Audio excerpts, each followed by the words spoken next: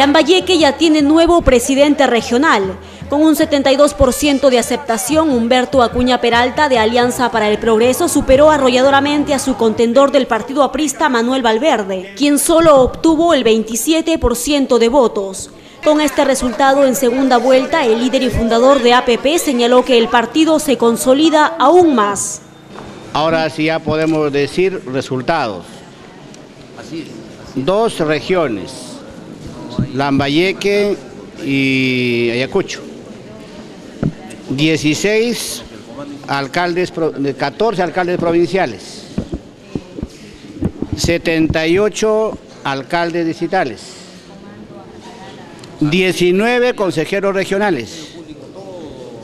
Cerca de 600 regidores a nivel nacional. Significa que el partido político nacional con más presencia en el Perú hoy es Alianza para el Progreso. César Acuña Peralta indicó que APP es uno de los partidos más fuertes y representativos del país. La nueva Alianza para el Gran Cambio que lidera presentó como candidato presidencial a Pedro Pablo Kuczynski, una gran figura económica del país, y espera obtener 12 curules congresales en todo el Perú. Creo, creo que APP, de, va, APP no, no tendrá menos de 10 a 12 congresistas. Tres, le voy a decir lo que voy a decir para que ustedes me, digan que no me equivoqué tres en la, en la Libertad, dos en Lambayeque, cinco, uno en Piura, seis, otro en San Martín. Será una bancada, una bancada que hará que APP tenga presencia en los siguientes cinco años. Acuña restó importancia a las recientes encuestas que ubican a PPK último en las preferencias electorales. Esas encuestas antes de la alianza.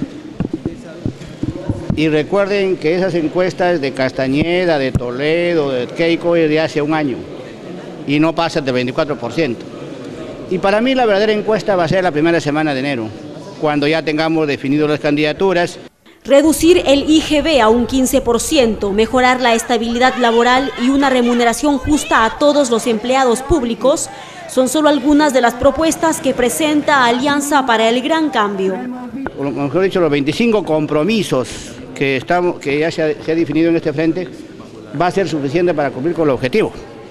El objetivo de bajar al 10% la pobreza en el Perú, bajar el IGB de 19 al 15% en 5 años.